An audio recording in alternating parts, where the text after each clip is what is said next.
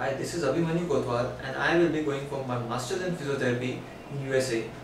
I am proudly associated associated to be with to be with Edwise as Edwise provides me class material for TOEFL also with lucid examples so how to go about assuring uh, answering questions also the class size is very small so that leads to personal uh, attention.